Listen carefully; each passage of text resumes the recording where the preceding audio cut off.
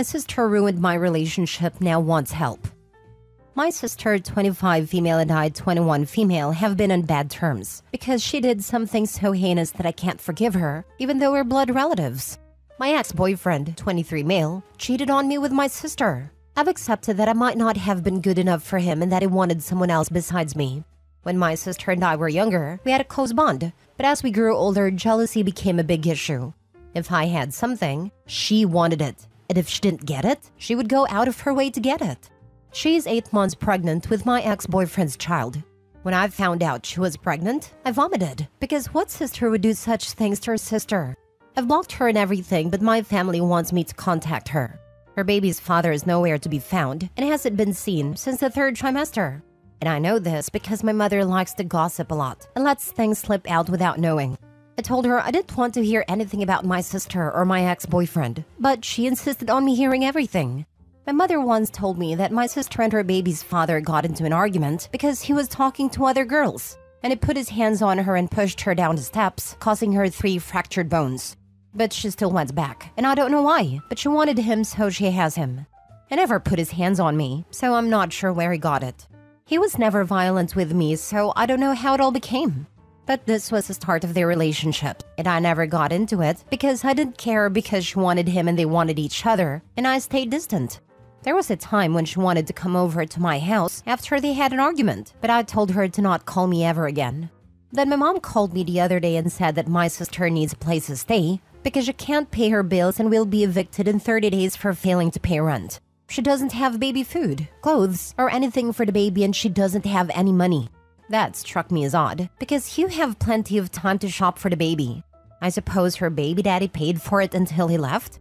My mother and I argued because I was not going to let her into my house and told her she could stay at hers. But she said we were sisters and needed to stick together. I can't tell you how angry I was when she said that.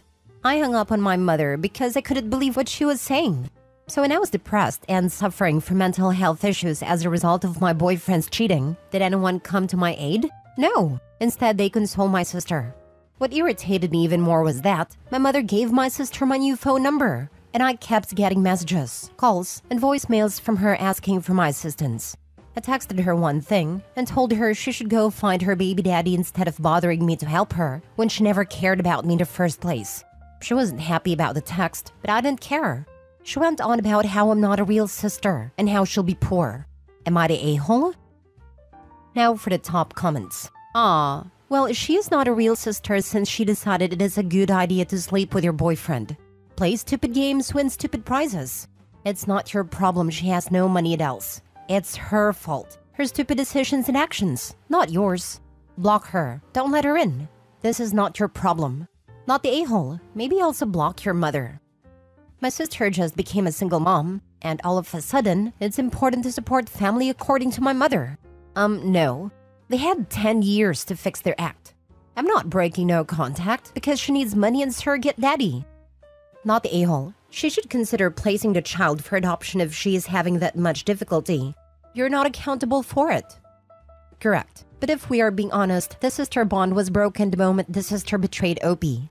If Opie's mom is so concerned about her poor pregnant mistress of a daughter, then she needs to open her own front door instead of her gaslighting mouth and welcome her child and soon to be grandchild into her home with open arms.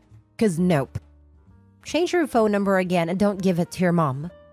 If you need to call your mom, you can create a Google Voice number to call her from so she doesn't have your direct number. Next story. Am I the a hole for keeping the money my parents gave me to travel to see them because my brother was there? My brother was abusive to me growing up, in every way you are imagining. My parents covered for him and sent me away to live with family so they could take care of him rather than sending him to jail. I have not seen them or spoken to them in 10 years. That's the way I like it. My father is taken ill and he wanted to make amends. He wanted me to come see him. I said no. I did not have the time or money to take time away from my job. But my parents offered to pay for my trip and to make up for the money I will miss out on since I have no PTO. So I agreed, on one condition that I did not want to see my brother at all. If he was there, I was leaving. He was there. I left. I had already made arrangements with a friend in that city just in case. It is a friend from university whom my parents don't know. I also blocked them on my phone. I spent a week enjoying my hometown and seeing friends and family, and then went back home. My parents thought the best way to handle it was to call me out on social media for taking their money to come see my dying father, then spending the time having fun. I did not see any of it since I was enjoying my life. But when I got to the airport, I did check my Facebook, and there were the posts and comments from their friends and family who did not know the story. So I replied that I had indeed accepted their money to come see my father, and the only requirement I had was that my piece of trash brother not be anywhere near me. I explained why I did not want him near me. I explained why he should be in jail. I explained that I was not involved in their lives because they got rid of me to defend him. This has started a massive fight with my parents and their friends and relatives. Mostly about them not telling people all the particulars about my brother and allowing him near children. And people saying that I should not air dirty laundry and that my father was dying and I was adding to his stress. I kept the money because I needed it, and I went like I agreed. Not the a-hole. I agreed on one condition. I did not want to see my brother at all. If he was there, I was leaving. This is called a healthy boundary. Bravo for setting it correctly and enforcing consequences when a boundary was broken. You're already no contact with them. Who cares what they say in social media? Plus, people are telling OP not to air dirty laundry when the parents did it first. Funny how it's okay in one instance but not in OP's. I agree. OP should clearly state to those people that she didn't air the dirty laundry and a trauma of 10 plus years ago until her parents used Facebook to try to shame her and she was forced to defend herself. Call out every victim shamer and then move on. OP sounds amazing. Not the a-hole. You gave them one condition and your father, one, was the one who wanted to make amends. Two, didn't keep his part of the promise, so he cannot cry about the money. 3. He tried to expose you in social media. Not your problem he gets caught lying about what really happened since they took the initiative to make it public. 4. Funny wasn't thinking of being stressed or dying while trying to call you out on Facebook. To be fair, I'm pretty sure it was my mom posting. My father isn't big on social media, but she knew the deal. Still, she posted about a private situation to make you look bad which took the private off the whole thing and could have an impact on your father's health as well if it keeps escalating into a live argument without social media. Consequences. Next story. Am I the a-hole for leaving my stepdaughter's birthday party after my husband threw out the cake I made for her? I have been married to my husband Jeff for a year now. He has a daughter at 12 with his deceased wife. When I first met Jeff, it was obvious that he was struggling as a single parent for my stepdaughter's birthday, I'd usually get a cake from the bakery. This has been the case since her mom passed away. I thought I'd bake her a birthday cake for her 12th birthday that was last week, as a gesture to show some motherly love and support. Jeff agreed, and he told me what his daughter's favorite flavors are and what she likes and so on. I baked the cake in the flavor she likes and the icing she likes, but one thing was missing and that is the blueberries. And I couldn't include them because I went to the nearest store and they didn't have them. I was running out of time and couldn't get them, so I ended up just leaving the cake as it, thinking it wouldn't be a big deal. The party started, and Jeff was busy taking care of everything else. He then came into the kitchen and asked to see the cake before bringing it out. I showed it to him, and he got so angry when he saw that there were no blueberries on top. He went on and on about how I didn't fully commit to making the cake, and that he'd trusted me to take care of it, and just basically saying that he should have just ordered one from the bakery. We got into an argument and he ended up taking it and throwing it in a trash can. I was stunned as he said, You know what? Forget it. I'll get one from the bakery. I blew up and screamed at him. He told me to stop, but I went upstairs, got dressed, and left. He tried getting me to stay, but I refused and went to my parents. He later called and then texted about how I overreacted and hurt him and my stepdaughter by leaving also said that I created this situation by not properly making the birthday cake, just because I didn't put blueberries on top. I refused to respond, but my parents say he was justified, since he must have felt pressured from the stress of making his daughter happy on her birthday. He keeps trying to speak to me, but I don't respond. Am I the a hole? Did I overreact? Now for the top comments. Not the a hole. You went out of your way to research what kind of cake your stepdaughter would want, put in the effort to bake a cake after agreeing with the dad on you baking the cake, and baked a lovely birthday cake. It was just missing one kind of deco because you couldn't source it in time. And it went nuclear and threw out your cake? Yeah, wouldn't have stayed around after that either. It is a childish, vindictive, aggressive, and hurtful way to deal with what is saw as a less than perfect situation. He seems extremely overprotective of his daughter. She's 12 and would probably love this cake even if it didn't have blueberries. Even if she had noticed and said something, she could have been told the shop ran out. And at her age, she should be able to understand that and learn to deal with that kind of disappointment. Are you pushed aside in other parenting situations too? How is your relationship with your stepdaughter? It's only been a year and he already treats you like this? I'd reconsider this marriage. OP is not the a-hole, but also blueberries aren't in season, at least in the US. Her husband is aware of what month her season it is, since it's his daughter's birthday, and shouldn't have faulted her for the store not having fresh produce out of season.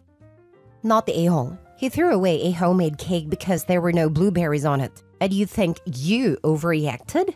Has he had explosive reactions like this in the past? Because that's kind of scary. If he reacts this way over missing blueberries, what happens when something really goes wrong? Oh, OP this. I get it's his daughter's birthday, but he threw away the cake. And then tries to get you to stay, to have you there to blame, and says you overreacted? I'm sorry, this guy has some serious control and anger issues he needs to work through. You're not the a hole. Not the a hole. 1. No cake in the history of cakes has been ruined by not having blueberries. 2. I've been around people who would get this anal about blueberries. It's never about the berries, it's about control. 3. Huge red flag. Watch out for how easily comes unhinged about other little things. If it's always your fault, look up the characteristics of narcissist and see if it fits that bill. This, here is the narcissist's credo. That didn't happen. And if it did, it wasn't that bad. And if it was, that's not a big deal. And if it is, that's not my fault. And if it was, I didn't mean it. And if I did, you deserved it. Last story. Am I the a hole for telling my late father's wife I don't owe it to her to lie? My dad passed away recently. We had not spoken for more than four years. I, 22 male, was his only surviving kid from his first marriage. My mom and two siblings died in a car wreck when I was nine. My dad and I were in a car behind them, so he saw it happen but were not directly involved. After my mom and siblings died, my dad focused on moving on and finding a new wife. I met Trish two months later. They got married after six months together. Trish was a single mom of two kids and their dads were not around. So my dad decided he was going to step up and be their dad. He told me I owe it to them to be the best big brother and to learn from my brother and sister who had been amazing older siblings. I said no. I told him I did not agree to being anyone else's sibling and I would only ever have two siblings. He always said I would regret it, and he told me he hated me. He had three more kids with Trish, and I never tried to bond with them either. When I was 15, Dad and I had a fight that was sort of us done for good. He read my sister's diary on what would have been her 18th birthday, and he didn't like what he read about her friend having half siblings and he took it out on me. After that, it was agreed I should live with my aunt and uncle.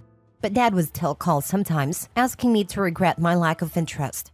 Trish is the one who told me died, she sent me the obituary via social media.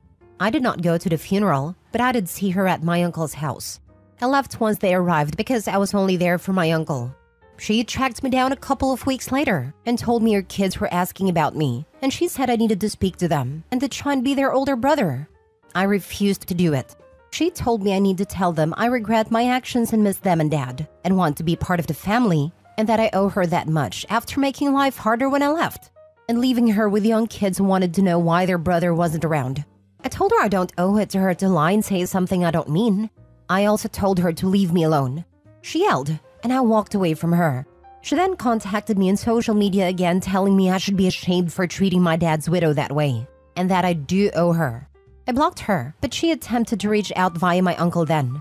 She's clearly very angry. Am I the a hole? Not the a hole for not bonding or following her wish to try again, but please get the therapy. Your dad apparently neglected to get you back when your family died, so you can process that loss. The adults in your life really failed you back then. I started going to therapy last year. My therapist was shocked. It was my first time after hearing about the incident. Geez, the car accident alone would have been enough for almost anyone to sign their kid up for therapy. Never mind garbage that followed. You would think, but no. Not the a-hole. Your dad did you a massive disservice by finding a replacement family so soon. This did not allow you any time to grieve properly. Your feelings, or lack thereof, are no one's concern but your own. She most likely wants you to be their older brother, so he can babysit them all the time. Yep, she doesn't care about OP or his relationship with her kids. She just wants babysitting and probably will start asking for monetary help. She and OP's dad treated OP terribly. Not the a-hole. Your father chose to put himself over you and your mother and siblings tragically died. Rather than wait an appropriate amount of time and go through the pain of it all with you, he instead sought comfort elsewhere.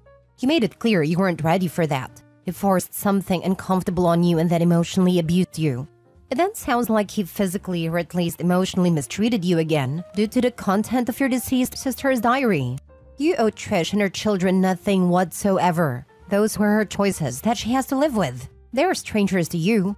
It sounds like she and your father have gaslit these kids into believing they have some magical big brother out there, which is cruel of Trish and your father to do when they knew your feelings. But in no way should make you any more willing to become part of something you are, as I said before, a stranger to. It was emotional. He was yelling at me asking how he was supposed to tell his other kids about my siblings, when he had it in black and white that my sister saw half siblings as lesser generally, and that she thought it's dumb to think you should love them. Again, all this was written about her best friend and how my sister felt about what her best friend was going through. My dad said things to me after reading her diary that I never forgot, and is dead now, and it's something I will never truly forgive him for. I'm learning to let it go, but it will always be something that made my already poor perception of him way worse.